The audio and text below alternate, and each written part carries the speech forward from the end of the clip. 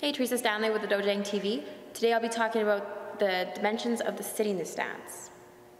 So when stepping into a sitting stance, the measurement is only the width. There is no length in a sitting stance. So the measurement is one and a half shoulder widths between the two big toes. When executing this stance, be sure to push the knees outward so they are above the balls of the feet. The weight distribution is 50-50.